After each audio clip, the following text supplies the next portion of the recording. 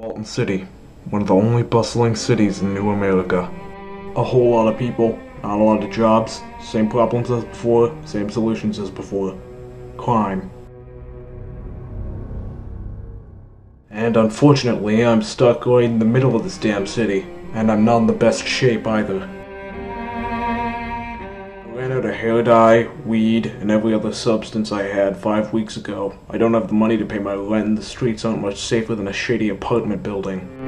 I just can't do this shit anymore. I need to clean up my act, find a job. I need to just get some money so I can relocate to a safer city.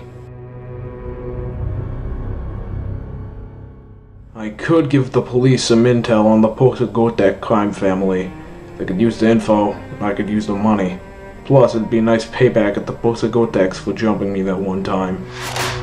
But if I want to get to the station, I'm gonna have to go armed. There's gang violence, random acts of murder, and muggings happening everywhere in the city. I'd best get going now.